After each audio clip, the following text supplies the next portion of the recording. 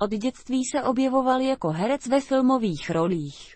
V letech 1999 až 2002 byl odborným asistentem katedry režie FAMu. Od roku 2005 je pedagogem katedry tvorby Filmové akademie Miroslava Ondříčka v Písku. Od studií se věnuje více režijní tvorbě, převážně pro televizi. Prvním celovečerním hraným filmem, kterým vstoupil do kin, je vánoční pohádka Anděl Páně z roku 2005. V televizní premiéře se stala nejsledovanějším filmem roku 2006. Druhý film Vrázky z lásky 2012 byl návratem herecké dvojice Jiřina Bohdalová a Radoslav Brzo Bohatý.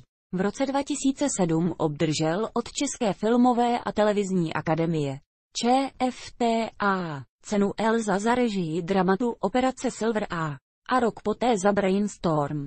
V roce 2010 jej pražský arcibiskup Dominik Duka jmenoval členem mediální rady České biskupské konference. V soutěži Pri Europa 2014 v Berlíně v kategorii TV Fiction zvítězil jeho film Osmi a získal cenu Best European TV Drama. Je členem České filmové a televizní akademie ČFTA.